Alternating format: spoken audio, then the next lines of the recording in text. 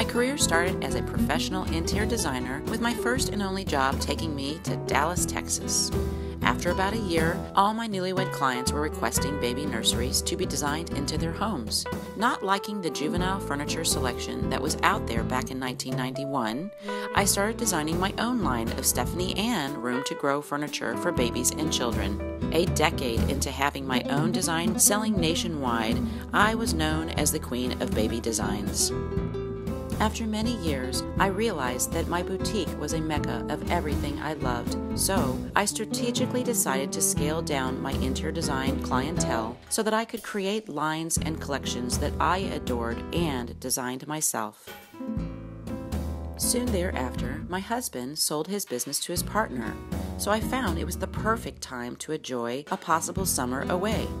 I suggested to him that we move to the hills of Guanajuato, where I heard it was a small Spanish colonial town that was known as an artisan community. So we packed up our two fat cats and put our furniture in storage, and we were off.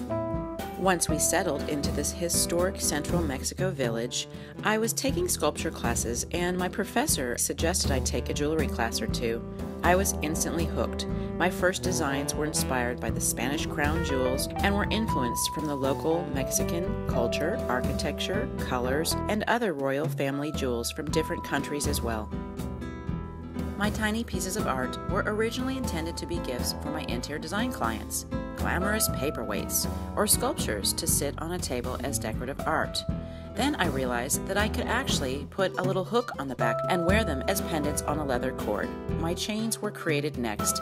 I continued sculpting my pieces out of bronze. To make a much more rich look, I decided to dip the bronze sculptures in 24 karat gold, then added authentic semi precious stones.